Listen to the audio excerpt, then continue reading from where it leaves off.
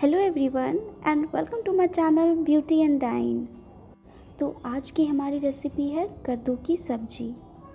Generally इसे कदीमा की सब्ज़ी भी कहते हैं। तो चलिए स्टार्ट करते हैं। मैंने यहाँ कद्दू को अच्छे से धोकर छील लिया है।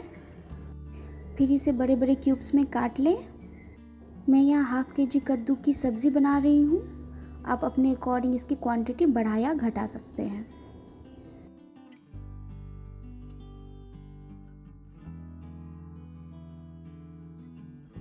सब्ज़ी के टेस्ट को इन्हेंस करने के लिए मैं यहाँ ले रही हूँ एक टीस्पून अमचूर पाउडर सब्ज़ी मसाला एक टीस्पून हल्दी पाउडर डेढ़ टीस्पून और गरम मसाला एंड नमक एज़ पर योर टेस्ट यहाँ दो बड़े साइज़ की प्याज, सात आठ लहसुन की कलियाँ और बारीक कटी हुई दो प्याज। मसाले के लिए हमें चाहिए लाल मिर्च धनिया पाउडर, जीरा और काले मिर्च। अब सारे खड़े मसाला, मोटा चॉप किया हुआ प्याज और लहसुन की कलियाँ डालकर पीस लें।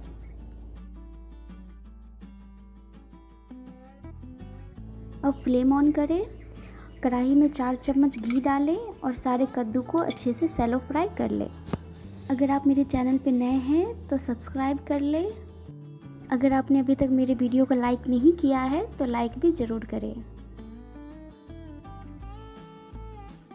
इसे फ्राई होने में चार से पाँच मिनट लग जाएगा। दो तीन मिनट और फ्राई होने के बाद आप इसका कलर देख सकते हैं। ये अच्छा सा ब्राउन हो चुका है। अब इसे निकाल लें।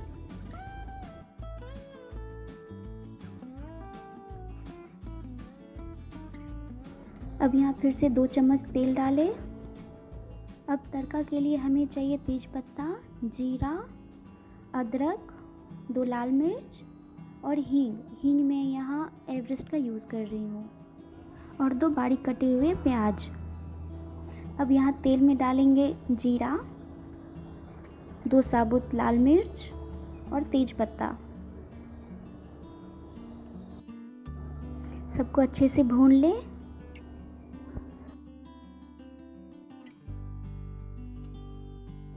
फिर डालेंगे यहाँ अदरक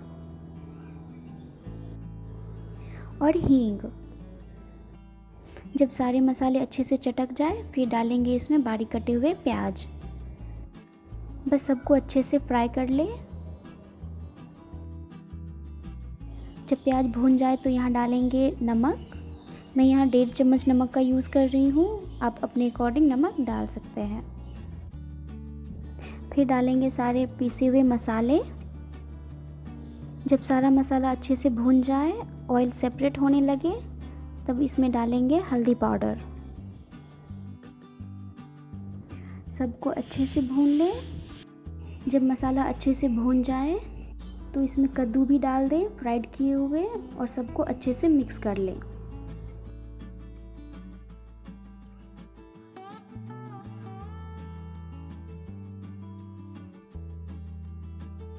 यहाँ आप देख सकते हैं, मसाला और कद्दू दोनों को मैंने अच्छे से मिक्स कर लिया है। अब इसमें हम देंगे पानी। मेक श्योर sure कि आपका पानी थोड़ा गर्म हो।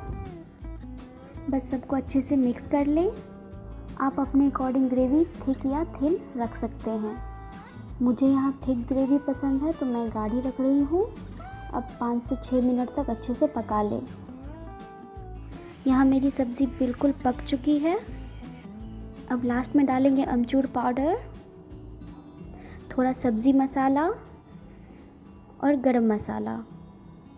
मैं सारे इंग्रेडिएंट्स के लिस्ट वीडियो के लास्ट में दे दूँगी, आप वहाँ से चेक कर सकते हैं। बस मेरी सब्ज़ी बिल्कुल रेडी है सर्व करने के लिए।